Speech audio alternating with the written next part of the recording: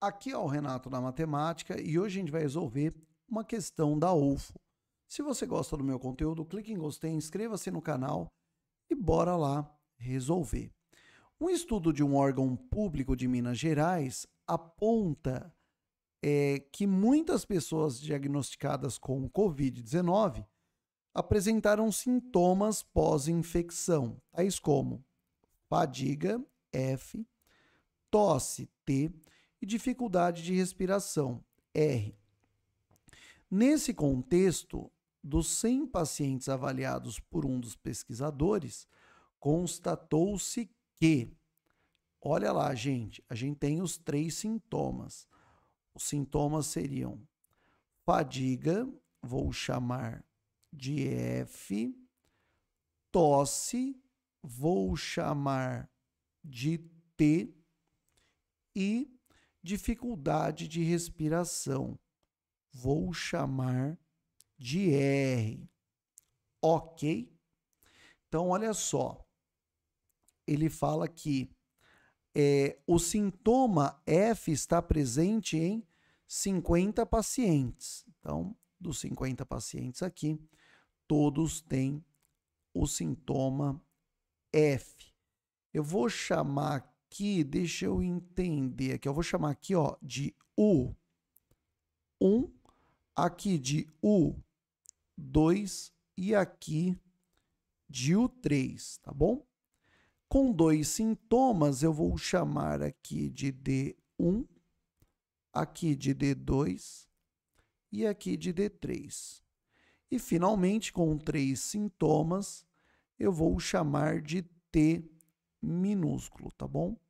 Então, três sintomas é o T minúsculo. Então, ele fala: F está presente em 50 pacientes. Então, ele quer dizer o seguinte: que se eu somar o 1 mais D1 mais D2 mais T seria igual a 50.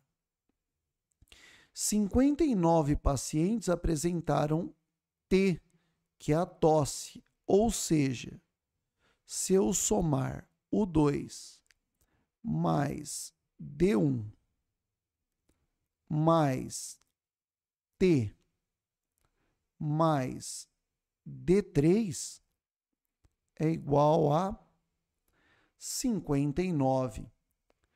40 pacientes apareceram com R. Então, os 40 pacientes seria o 3 mais D2 mais D3 mais T. Tudo isso seria igual a 40. Ótimo é, existem exatamente 63 pacientes examinados com apenas um dos sintomas. O que isso significa?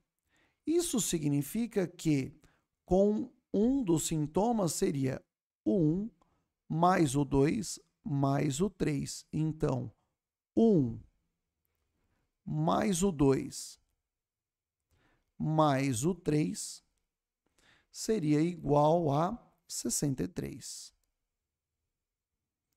E além disso, ele fala: se um desses pacientes for aleatoriamente escolhido, a probabilidade de que ele tenha dois sintomas, que ele tenha exatamente dois sintomas, importante, é 0,25. Ou seja, seria 25%. E exatamente dois sintomas seria D1 mais D2 mais D3. E D1 mais D2 mais D3 seria igual a 25, 0,25, ou seja, 25% de 100. 25% de 100 dará 25. Então, ele quer com os três sintomas, ou seja, ele quer saber o T. Como a gente vai fazer para resolver essa questão de uma maneira bem rápida e bem fácil. A gente poderia fazer o seguinte: se a gente somar todos os sintomas aqui, olha que legal. Aqui a gente somaria o 1 mais o 2 mais o 3. E o 1 mais o 2 mais o 3, eu já sei que vale 63. Então, essa soma é igual a 63. Mas, olha agora aqui, ó. D1 mais D2 mais D3 dá é, 25. Mas aqui eu tenho duas vezes D1, duas vezes D1. O D2 aparece duas vezes também. Então, mais duas vezes D2. E o D3 também aparece duas vezes. Mais duas vezes D3. Mais 3T Tudo isso é igual a essa soma.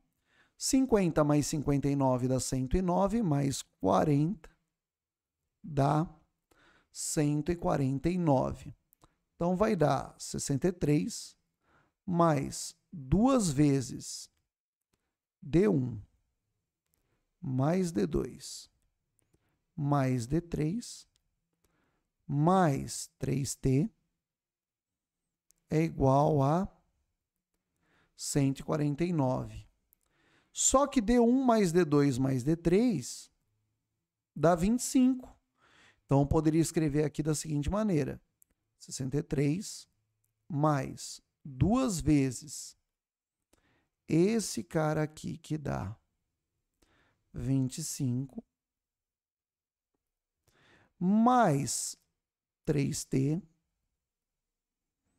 é igual a 149.